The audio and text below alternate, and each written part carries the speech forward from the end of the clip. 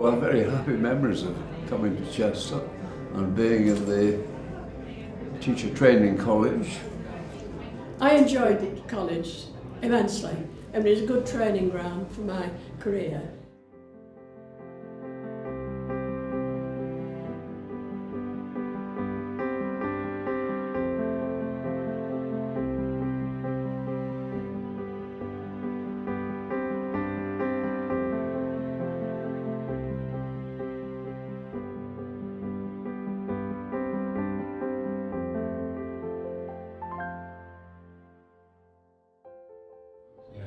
I wish I could do it again. Yes. Yes, we'll and, do if it I, and if I could live my life again and had to choose a college to come to, I'd still come to Chester. Yeah, here, me too.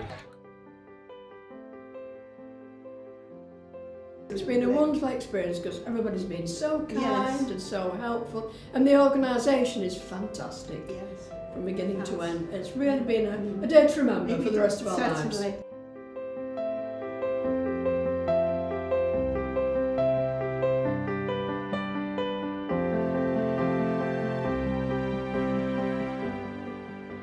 But I regret the fact that at the end of June in 1969, poof, we all went to the four winds. Yeah. Some of us stayed in touch and some of us didn't.